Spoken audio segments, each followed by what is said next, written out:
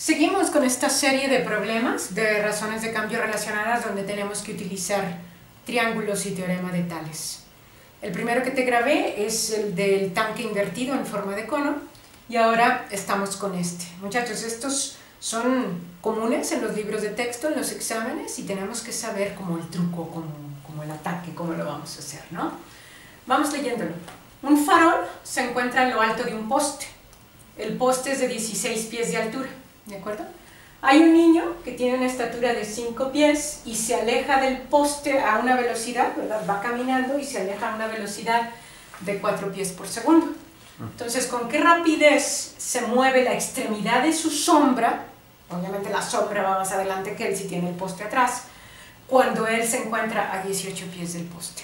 Entonces, yo creo que nos conviene hacer un dibujo, como siempre en estos problemas, para tratar de entenderlo, ¿no? Entonces aquí tenemos farolito que alumbra, entonces ahí está la calle, la calle, farolito, ¿no? Entonces el farolito está a qué altura? 16 pies de altura. Este no cambia, muchachos, entonces no me da miedo ponerlo, porque aunque hay movimiento, este se mantiene fijo, ¿ok? Entonces el farol emite su luz hacia todos lados y hay un niño por aquí que se está alejando, va caminando muy a gusto y se está alejando, ¿verdad? Este, en esta dirección del poste. Entonces, obviamente, el poste refleja una sombra y esa sombra se va a ver manifestada aquí en el piso, ¿verdad? Entonces, este, hay una extremidad de la sombra, que sería este punto de aquí, y nos están pidiendo con qué velocidad se desplaza este, la extremidad de la sombra. ¿no? Entonces, ¿qué podemos decir? Podemos decir, ya, ya entendiste que el niño se va moviendo en esa dirección, ¿verdad? De hecho, déjame poner aquí una flechita. Podemos hablar de la estatura del niño. El niño tiene una estatura de 5 pies, ¿verdad? No, pues ni la flechita, muchachos, aquí tenemos que poner el 5. También no me da miedo poner esta cantidad, porque aunque hay movimiento, la estatura del niño no cambia. Entonces la vamos a mantener constante. ¿Qué más sabemos? Sabemos que el niño se aleja del poste a una velocidad de 4 pies por segundo. Miren, cuando hay velocidades, hay distancias involucradas. Entonces voy a anotar aquí 4 pies por segundo. ¿Verdad? Entonces, este, ¿de qué se trata? Pues hay una distancia que cambia con el tiempo. Entonces esto debe de ser una derivada. Pero derivada de quién contra el tiempo? Ah, es que necesito una variable para que me mida esa magnitud, ¿no? Entonces, ¿qué les parece? Si el niño se mueve en la dirección alejándose del poste, vamos a considerar una variable que se llame x, por ejemplo, que vaya desde donde se encuentra el niño hasta la base del poste. ¿sí? Entonces podríamos decir que conforme el tiempo aumenta, la magnitud de x también aumenta. ¿no? Entonces podríamos decir que esta es la velocidad del el niño, diferencial en x o derivada de x con respecto de t. ¿Verdad? Ok. Entonces, vamos a ver cuál es la pregunta. La pregunta es, ¿con qué rapidez se mueve la extremidad de su sombra cuando él se encuentra a 18 pies del poste. Este es el instante. Entonces de una vez lo pongo entre paréntesis para no engolosinarme y tratar de sustituirlo demasiado pronto. Entonces, ¿con qué rapidez se aleja la extremidad de su sombra? Otra vez muchachos, si hablamos de rapidez, hablamos de una derivada, en este caso también con respecto del tiempo, pero necesito una variable, es decir, si es una velocidad, tiene que haber una distancia en este caso, ¿no? Entonces es la extremidad de su sombra con qué rapidez se está moviendo. Necesito una magnitud para medir distancia. Y no puede ser X, porque X no es la extremidad de la sombra, es la base de la sombra, ¿verdad? Entonces voy a poner una segunda variable que se llame Y, que vaya desde la base del poste hasta la extremidad de la sombra, ¿no? Entonces, quiere decir que tengo dx en dt, pero me falta dy en dt. ¿Te queda claro? O sea, para medir la rapidez de cómo se mueve la extremidad de su sombra, necesito una distancia, en este caso, ¿sí? Entonces vamos a decir que la derivada de y con respecto de t es igual a watt en el instante en el que quién mide 18 pies. Ah, dice, cuando él, ¿el quién? El niño. Entonces, cuando el niño se encuentra a 18 pies de la base del poste. Entonces, si es el niño, ¿quién te figuras que es 18? ¿X o Y? Pues tiene que ser X, muchachos, porque X es hasta el niño y Y es hasta la sombra. ¿Ok? Entonces vamos a decir cuando Y, perdón, estoy diciendo, como te digo, es para ver si estás poniendo atención. Cuando X es igual a 18 pies. Y lo meto entre paréntesis para no sustituirlo demasiado pronto. ¿Vamos bien, muchachones? Ok. Entonces ya tengo, como quien dice, la esencia del problema. Tengo el dibujo, tengo la variable que me dan y la variable, que en este caso es una derivada, que me piden. ¿okay? Entonces hay que hacer parientes, recuérdate, una vez que tienes claro a quién quieres y a quién tienes, tienes que hacer parientes a esta X con esta Y. Pues obviamente no lo vas a encontrar tan fácil en las fórmulas geométricas, pero sí nos podemos apoyar en la proporcionalidad de los triángulos. ¿sí?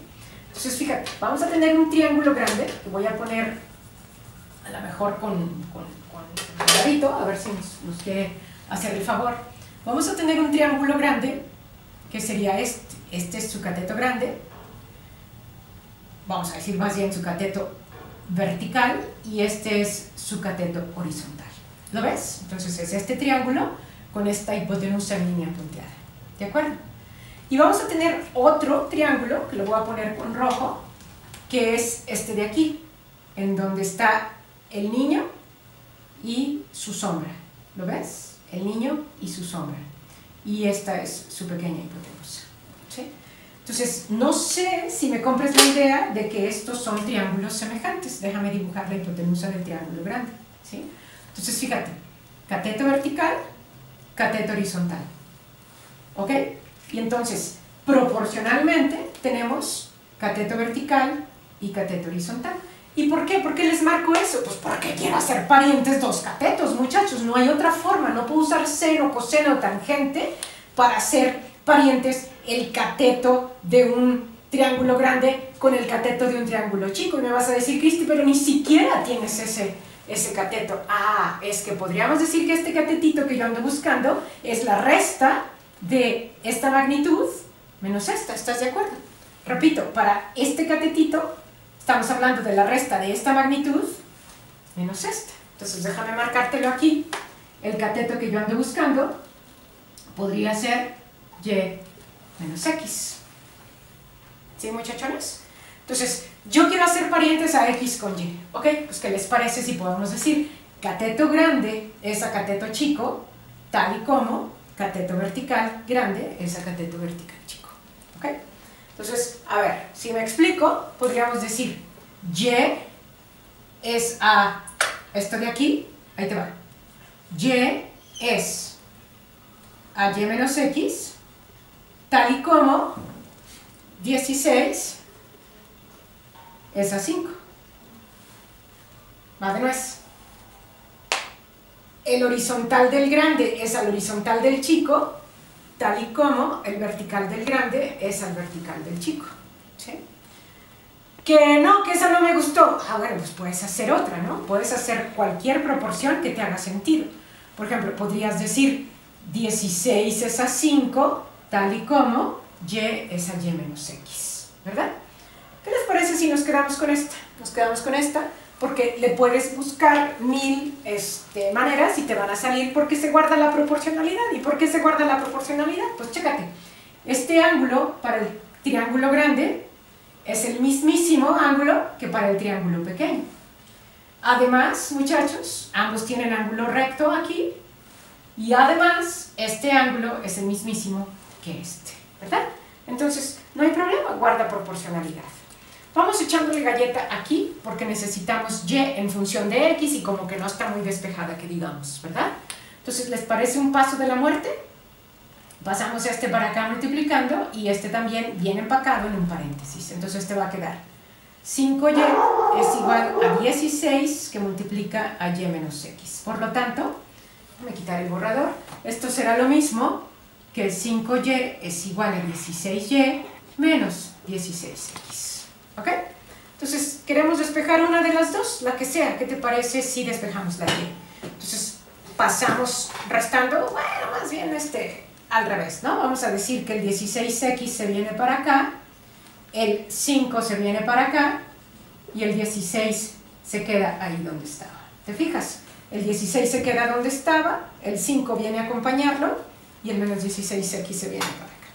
Entonces, ¿qué nos va a quedar, muchachos? Nos va a quedar que 16x es igual a 16 menos 5, pues a ver si nos dan 11, y entonces al despejar la y nos va a quedar que 16 onceavos de x es igual a y. Entonces ya tenemos una relación que hace parientes a y contra x en este contexto. Si te fijas, porque abusado, porque luego nomás hacemos las cosas por hacerlo si no las razonamos. La y lleva una relación lineal con respecto a la x. ¿Qué quiere decir lineal? Pues que el exponente máximo es 1 y que no trae denominadores. ¿sí? Entonces esto es como una recta.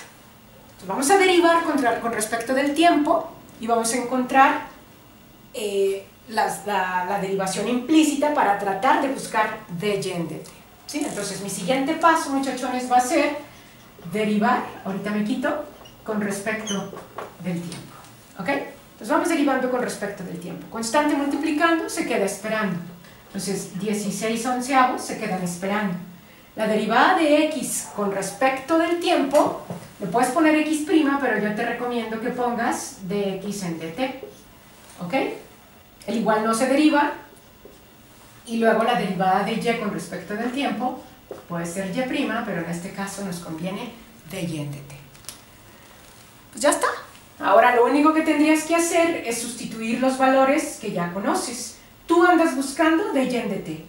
Te dieron de x en dt y ya nada más tienes que sustituir el instante. Oye Cristi, pero no hay dónde sustituir el instante. Yo quiero venir y poner el 18 aquí y no hay dónde ponerlo. Ah, ¿qué quiere decir? Que la variación es constante. Es decir, no le importa el momento. La velocidad del extremo de la sombra siempre va a ser la misma y va a ser la multiplicación de estas cantidades. A eso me refería con que era una relación lineal. Entonces, no te importa en qué momento esto suceda, la velocidad de la sombra siempre va a ser la misma, siempre y cuando la velocidad del niño se mantenga constante. ¿De acuerdo? Entonces es directamente proporcional a la velocidad del niño. Entonces no hay donde sustituirlo. Te quedaría entonces que 16 onceavos que multiplica la velocidad del niño es de 4 pies por segundo y eso te va a dar la velocidad del extremo de la sombra. 16 por 4 son 64 onceavos y esa es la dy en dt. Yo hice las operaciones, no las hice muchachos. Es un poquito más de, de 6, ¿verdad? Y esa sería la velocidad de la sombra, la derivada de y con respecto de t. ¿Y qué unidades va a tener muchachos? Pues las mismas que tiene dx en dt, que son pies por segundo, ¿verdad? Entonces vamos a decir que esto está en pies por segundo. Y ese va a ser nuestro resultado.